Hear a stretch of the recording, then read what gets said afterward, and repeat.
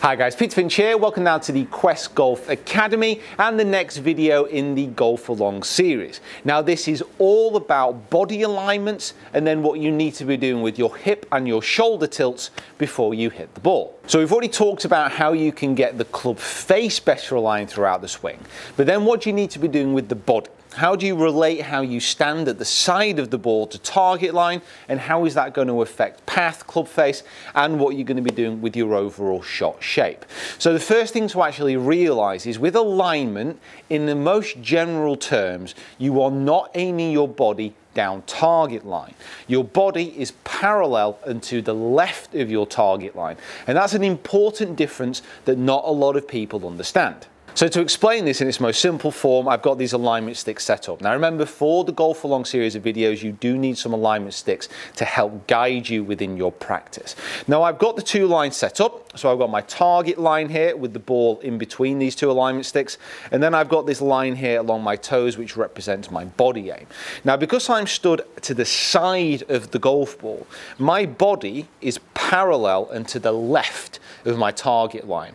And therefore, my body will never aim at the eventual target. Now, the reason for this is as I swing, all my swing is operating on the inside of the target line before I return down to impact, before again it moves along the inside of the target line again. So it's an important difference to understand that you are stood at the side of the ball and because of that your swing is operating around the inside of the target line until you actually approach the low point of your swing. Now the difference is, to this aim, if you were to move your body to the right, therefore your swing would operate more inward and then it would operate more out and over the target line as you hit.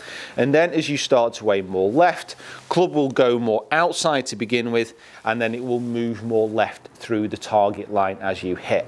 Now again, you can adapt your body positions to alter path, and then that will alter the eventual shape of the shot depending on where the club face is aiming at the point of impact. But to try and hit the most neutral ball flights, setting up with a parallel alignment is very important. Now there are other things that are aiming within your setup, not just the feet and not just the club face, because how you set your knees, your hips and your shoulders will also affect the path of the golf club and also things like angle of attack. Now as you're stood at the side of the golf ball, if your toes are parallel to the target line, then hopefully the knees will be nicely in line as well. However, what can often happen is for the hips and the shoulders, they can move out of position. So what what you want to be making sure of, if as you're getting set up, that the knees, the hips and the shoulders are all still parallel to target line. Once you understand that they're all parallel, then you can add in your tilts. Now to add in the tilts to the body is very, very simple. If you put the club on your nose and your belt buckle as you start your posture, then you tilt over and if you can just get the butt end of the club resting on the inside of the leg, what you've now done is added in a slight amount of shoulder tilt. And then as you get set up to the ball, press the hands ahead. And what you've now got is your natural spine tilt as your right arm goes down at the left. The hips are nicely in line and all parallel. And as you turn away, you can maintain your spine angle to the top of the swing.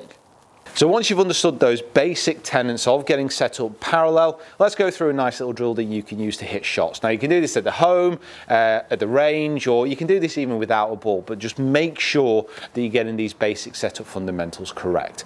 So we've already spoken about the grip and how club face relates to everything in that first video. So I'm gonna make sure that that grip is nice and neutral. I'm going to start with my feet together at the side of the ball here, just give myself some room between these alignment sticks to hit the shot. Club behind the ball, making sure club face is aiming down target. Little step left and right for the short iron that I'm using here. Get my feet flared out so I can turn my hips. Making sure my feet, my knees, my hips and my shoulders are nicely parallel to target line. I'm just going to add in that little bit of shoulder tilt. You can use that drill with the club as well. I'm just going to add in that tiny bit of shoulder tilt. Make sure my hands are pressed forward. And then once I feel comfortable with that setup, just go ahead and swing.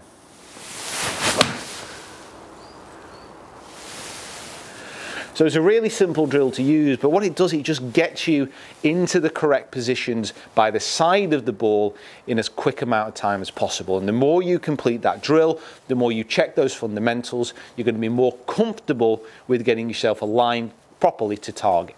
Right guys, thank you so much for watching the next video in this Golf Along series. Make sure you subscribe to the channel if you haven't already. Make sure you download your program. Make sure you've gone through this checklist and you are covering all the things that we need to.